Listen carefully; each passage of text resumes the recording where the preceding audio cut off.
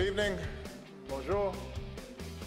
Mr. Prime Minister, Mr. Speaker, members of the House, the Senate, distinguished guests, people of Canada.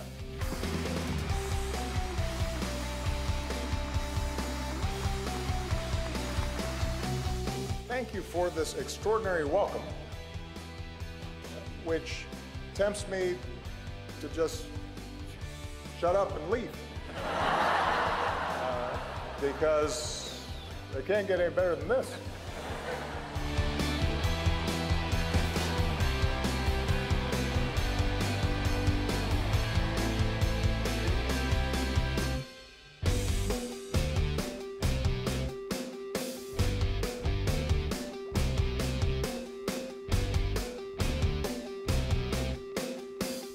Point is, we see ourselves in each other, and our lives are richer for it.